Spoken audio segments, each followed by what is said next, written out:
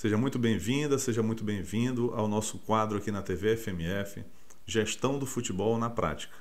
Meu nome é Hans Nina, sou diretor de competições da Federação, com formação pela CBF Academy em Gestão do Futebol, Executivo de Futebol e Licença B. A partir de hoje, a gente vai trazer aqui para vocês uma série de vídeos que vão auxiliar você, que já atua ou pretende atuar no futebol fora das quatro linhas. Para ser campeão, não basta chutar e colocar a bola dentro do gol necessário organização, estrutura e gestão. E é sobre isso que a gente vai conversar nos nossos vídeos a partir de hoje. Vamos lá para o primeiro?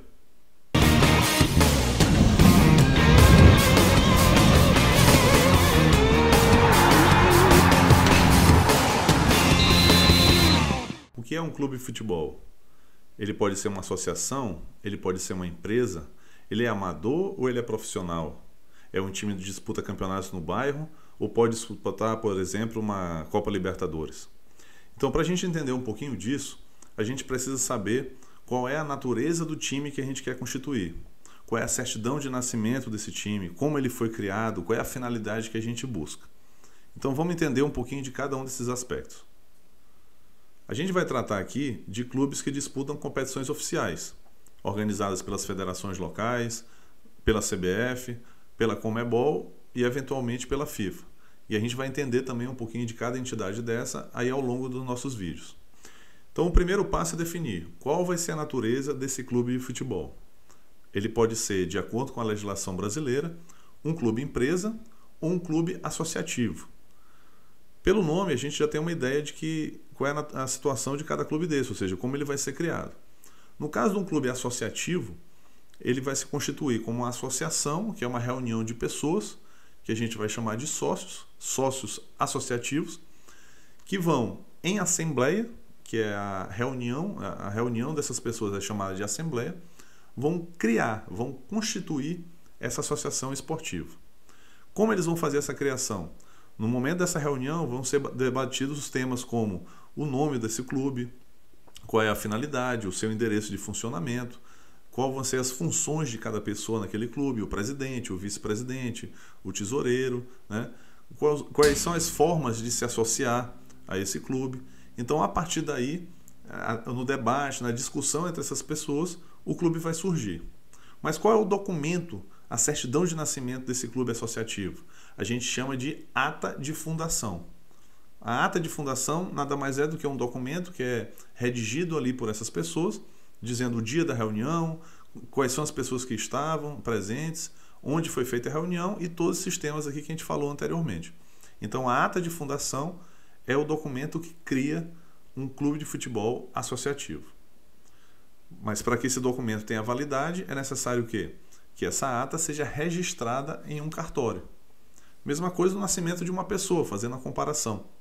Quando a pessoa nasce, ela já existe, mas para que seja documentado isso, é necessário que, ela se, que seja registrado o seu nascimento em um cartório. Então, no caso do clube associativo, mesma coisa. A ata de fundação é registrada em cartório e a partir dali esse clube passa a existir oficialmente. No caso do clube empresa, a gente vai ter uma outra natureza, porque enquanto a natureza do clube associativo é o entretenimento, é o lazer, é somente o esporte, no caso do clube empresa, além do esporte, o objetivo é o lucro, ou seja, é natural da atividade empresarial a busca do lucro. Então, o clube empresa ele tem essa característica. De que forma que ele é criado? Já um pouco diferente da associação, onde é feita uma reunião de pessoas que debatem esses assuntos, no clube empresa pode ser inclusive uma pessoa, né? ou então duas, três mais pessoas, mas um número bem mais reduzido onde eles vão celebrar um contrato entre eles. Isso a gente chama de contrato social. Semelhante, né, quem já trabalha com empresa sabe disso, semelhante a como uma empresa criada, da mesma forma. Então é feito esse contrato social que para ter validade também precisa ser registrado. Mas ao invés de ser registrado num cartório, é registrado na junta comercial ali do estado onde esse clube vai funcionar. Então a diferença principal é essa. Um é feita uma ata de fundação no clube associativo, no outro é feito um contrato social no clube empresa. Então esses são, a gente pode chamar aí de, é, esses documentos a gente pode chamar de certidão de nascimento de cada clube especificamente. Além disso, no caso específico do clube associativo, ele vai precisar ter mais dois documentos. Um é a ata de eleição da primeira diretoria. Então, essas pessoas se reuniram, criaram um clube. Então, eles precisam definir agora quem serão as pessoas, dentre elas, que vai fazer a gestão. Isso por determinado tempo, né? porque a natureza de um clube associativo também é a sequência de eleições para mudar essa diretoria. A partir daí, eles vão fazer uma ata também, né? as pessoas vão se candidatar ali, é, quem vai ser o presidente, o vice-presidente, e é feita uma ata de eleição de diretoria. Essa ata também precisa ser registrada ali no, no, no cartório competente para isso. E um terceiro documento também que é inerente aos clubes associativos, chama, a gente chama de estatuto. O que é o estatuto? É uma lei, né? uma espécie de lei que ela vai servir dentro daquela associação. Ela vai ter poder de ação dentro daquela associação. Então o estatuto vai dizer como surgiu aquele clube, qual é o nome oficial dele, quem são as pessoas que criaram, é, vai dizer também como deve ocorrer as eleições, em quanto tempo, qual a forma que isso deve acontecer, quais são as atribuições do presidente, do vice, do tesoureiro e por aí vai.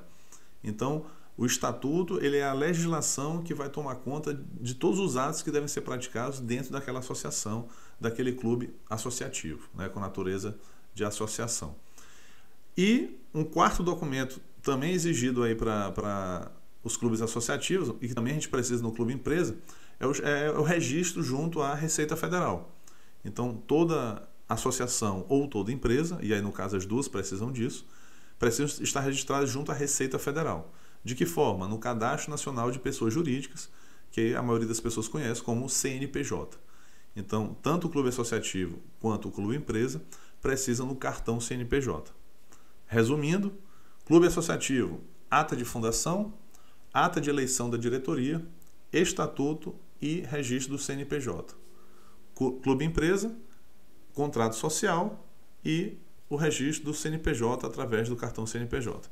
Basicamente, é essa a, a, a documentação que cada clube precisa. Né? Lógico que a gente for partir aí para a questão, por exemplo, de um centro de treinamento. Né? Ah, o clube já tem um centro de treinamento.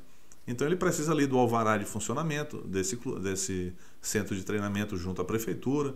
Ele vai precisar também de licença do Corpo de Bombeiros, que vai atestar se ali as normas de segurança que o, a legislação exige, no caso dos bombeiros, está sendo contemplada. Então, são é, outras situações, outras documentações junto a outros órgãos. Por exemplo, um clube vai ter funcionários, então precisa ali também do registro junto ao INSS para recolhimento do, da, da, do valor da Previdência, registro na Caixa Econômica para recolhimento do FGTS.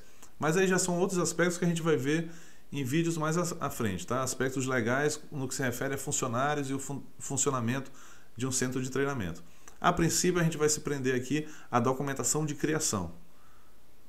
Ata de fundação, ata de eleição, estatuto e CNPJ para o clube associativo. Contrato social e cartão CNPJ para o clube empresa.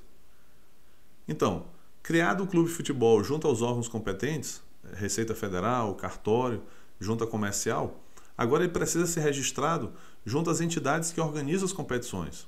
No caso, as federações locais, no nosso caso aqui a Federação Maranhense, e também junto à CBF. No momento de fazer o seu registro junto a essas entidades, cada federação estabelece uma taxa de adesão. Isso vai variar de federação para federação. E também é necessário que ele faça o registro, a sua adesão junto à Confederação Brasileira. Para isso, o clube também precisa definir qual vai ser o tipo de competição que ele vai disputar. Porque os clubes, além de serem associativos ou empresa, eles também vão ter que definir se eles são clubes amadores ou clubes profissionais.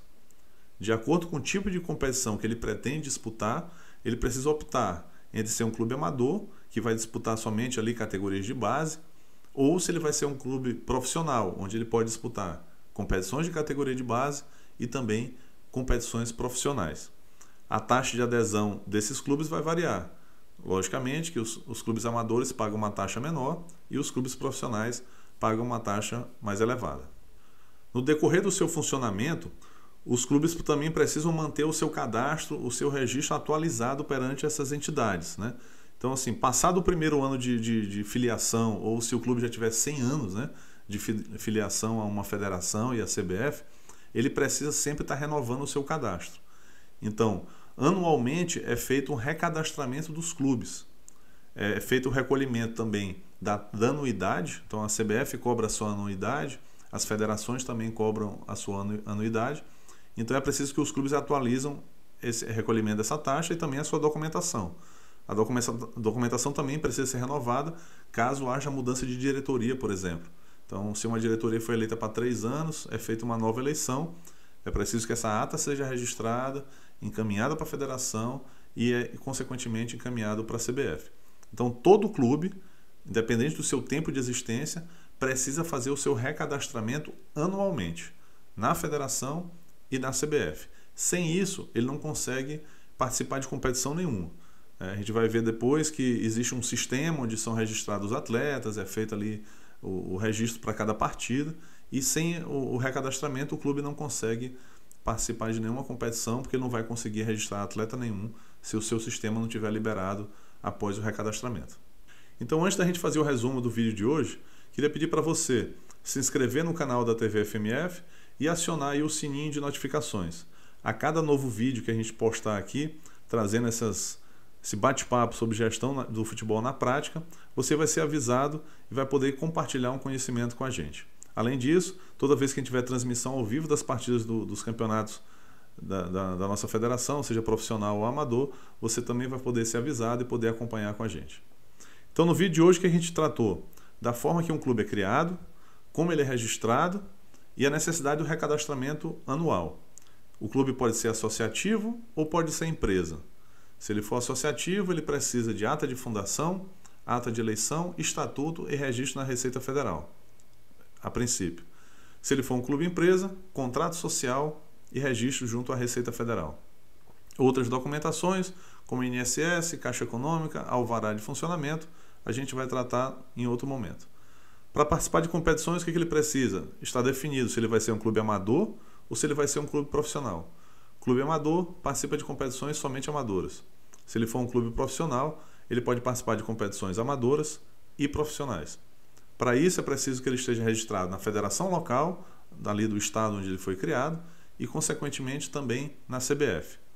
Para ser registrado, ele precisa pagar uma taxa de adesão para as duas entidades, Federação e Confederação Brasileira, variando o valor de acordo com cada federação e de acordo com a sua atividade, se amador ou se profissional.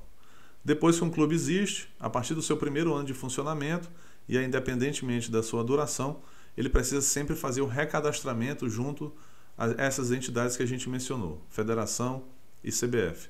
O recadastramento é, constitui-se através da apresentação da documentação, se houve alguma alteração, e também o recolhimento da taxa de anuidade.